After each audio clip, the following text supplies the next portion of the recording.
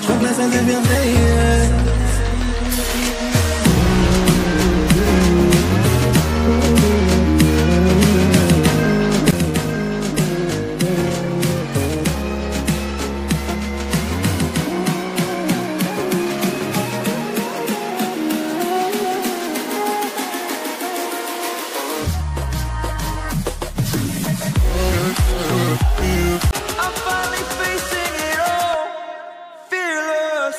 Girls.